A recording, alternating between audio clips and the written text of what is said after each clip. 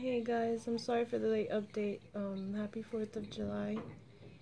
Um, Dean Samuel was born on July the 2nd at 1:41 a.m.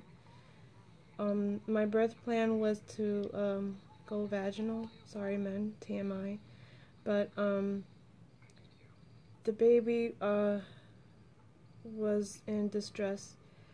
Uh, he had some bowel movements in my womb which you know I thought was a little funny, but um, the doctors kept an eye on that, and with every contraction that I would have, his heart rate would go down, and it would have um, a little trouble going back up to normal. So at that time, I was only still one centimeter, so they had to do an emergency C-section, and um, this is my third emergency C-section, but um, this one was um, the worst. It was to the point where um the pain was unbearable. I couldn't I couldn't contain myself from screaming.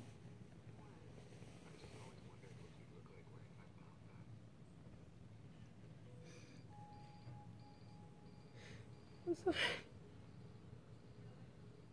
And um, the doctor, well, the anesthesia doctor, he had to sedate me. Um, my screaming was um, very.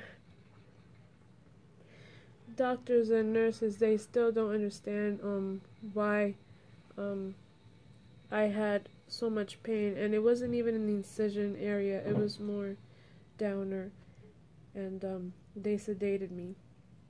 But um, it was the worst pain I've ever felt in my life, and um, I'm just glad that it's over. Even though still thinking about it, it bring it brings back terrible memories, but um,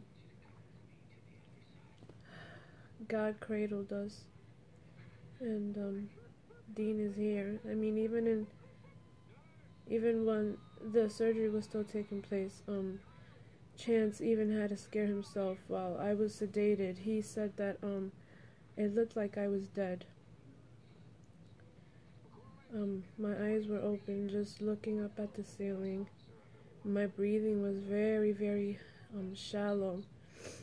Um he himself was like freaking out and um but like I said um God was there. He heard the prayers. He heard my prayers. But he's here. This difficult pregnancy. Um, it was a hard one. This pregnancy was a hard one. So it's obvious to me that um this baby has a purpose. What God um started, He will finish. So thank you all for your prayers.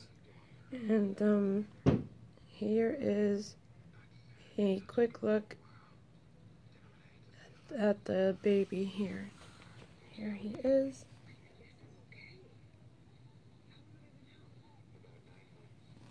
So again, thank you everyone, and um, hope to see as many of you guys as I can soon. Bye.